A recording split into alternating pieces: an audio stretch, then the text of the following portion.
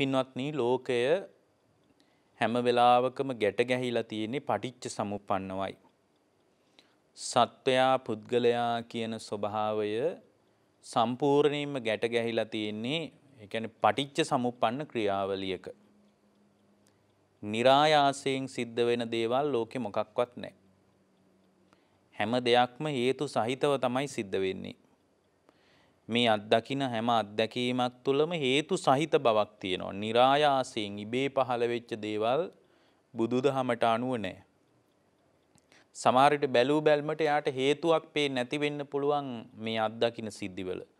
දැන් උදාහරණයක් විදිහට බොහොම හොඳට ඉන්න සත්පුරුෂව ඉන්න කාටවත් හිරිහැරයක් නොකර ඉන්න කාගේවත් හිතක් රිද්දන්නේ නැති කාටවත් වචන මාත්‍රයකින්වත් හානියක් වෙනවට කැමැත්තක් නැති කෙනෙක් ඉන්න පුළුවන්.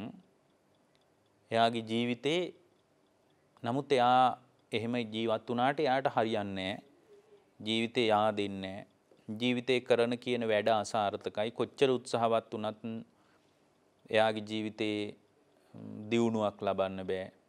නමුත් එයා කාටවත් හිරිහැරයක් නොකර කාටවත් දොස් කියන්නේ නැතුව කාටවත් බනින්න නැතුව කාටවත් කරදරයක් නැතුව හිටියට ඒ මිනිස්සයාට හරියට කරදර තියෙන්න පුළුවන්.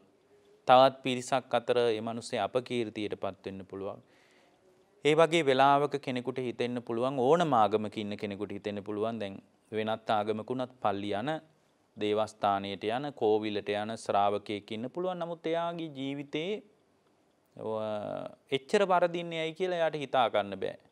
නමුත් පල්ලියට කෝවිලට දේවස්ථානයට දේවාලයට යන්නේ නැති අය බොහොම ජයට තමන්ගේ වැඩපළ කරගෙන තමන්ගේ කටයුතුත් එක්ක බොහොම පහසුවෙන් ජීවිතේ ගෙවලා දානකොට එයා හිතෙන්න පුළුවන් දැන් මේ ලෝකේ මම තරම් දෙවියන්ට පූජා කරන දෙවියන්ට වැඳුම් කරන දෙවියන්ට ගරු කරන දෙවියන්ට බාර දෙන කෙනෙක් නැහැ.